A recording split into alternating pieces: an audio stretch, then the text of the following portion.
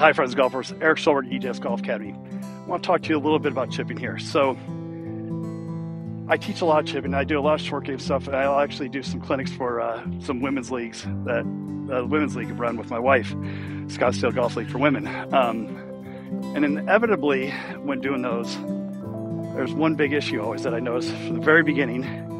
It's this: is we don't brush the grass. And so they'll go through, like, oh, I hit it too hard, but they never touch the grass.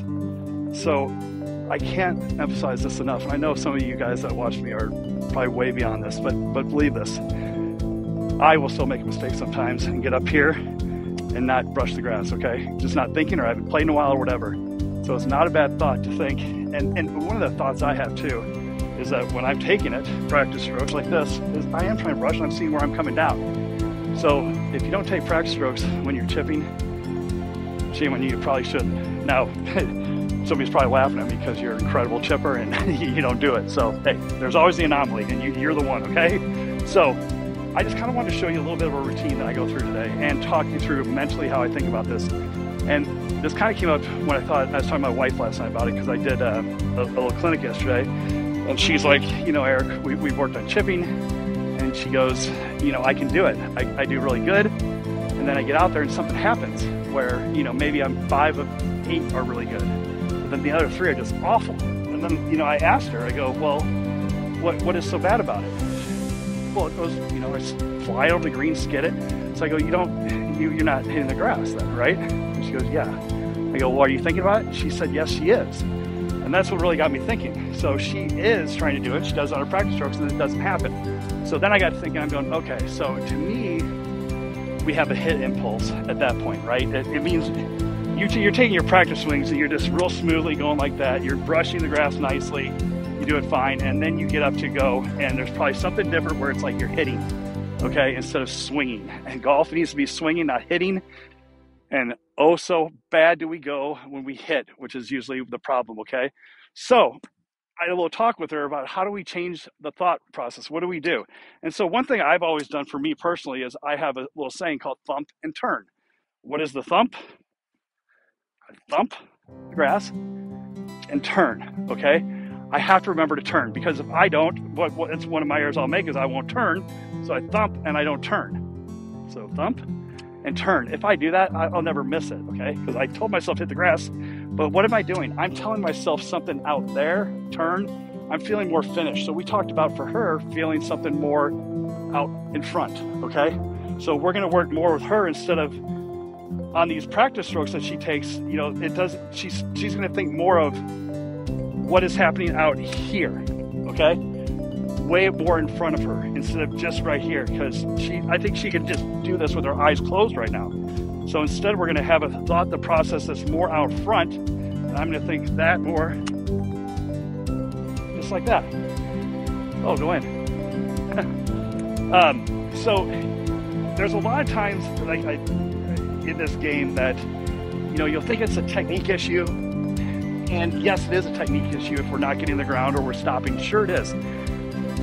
But here's the thing if you understand what you're doing, if you understand what's wrong, you understand what's right, and you understand good technique, a lot of times this brain can fix it pretty easy by telling it what to do correct, okay?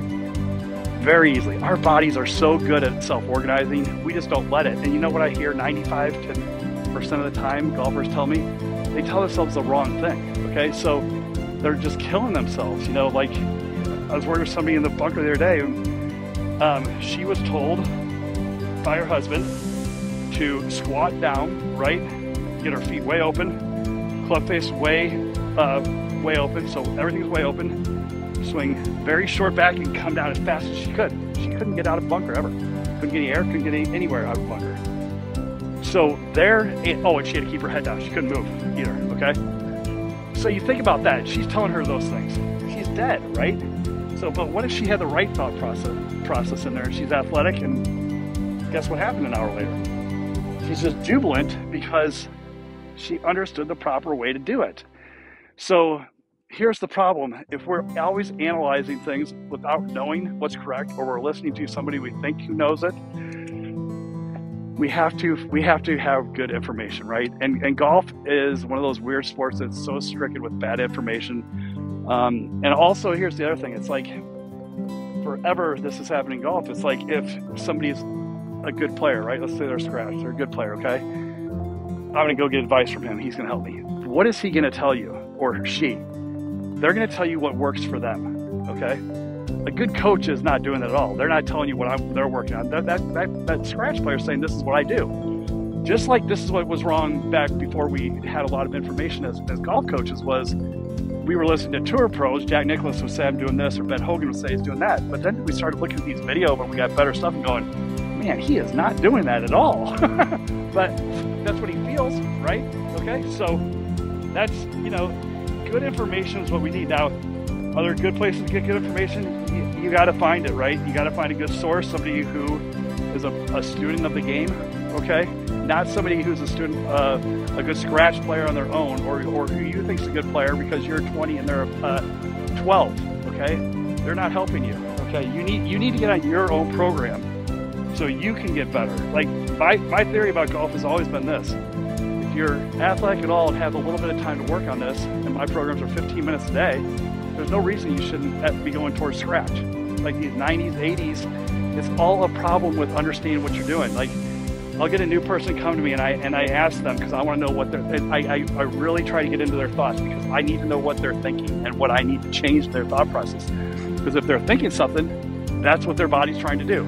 So one of the questions I always ask is, I'm like, okay, so show me what you're trying to get at at impact. Like, what does impact look like? And they'll go, well, what do you mean? Like, what, what, and they'll just stand like this. I'm like, so how can you? How do you get into a correct impact if you don't even know what it is? right? How do you know, how, how am I supposed to get like this if I don't even know that's what it is? If I just stand here and go, I don't know, I'm just swinging, then you're not, you're never going to get there. So that we just need good information and we need to give ourselves a chance and then we have to have a way to practice it and learn it, okay? And then golf really isn't as complicated as people think, but it's very complicated when you have the alternative, which most people are doing. And that's why handicaps haven't changed for so many years and why golfers aren't getting better, but it shouldn't be that way. And I wish it wasn't um, you know, I got in, I got into this game as a, as a coach um, because I wanted to change things, and I hope I do. Um, larger than just the people that I see. So I'm going to think that same thing I told my wife. Okay. And I caught that a little bit heavy, but I'm still putting. Remember, what's the key? We're on the green. I got to putt at it, and you know, right here, I would have probably hit number club anyways, 58. But folks, get some good coaching, ask good questions, get some videotape, have a good coach look at it and find out what's going on, get some 3D. I always look at it 3D. 2D lies if you're in the wrong angles. So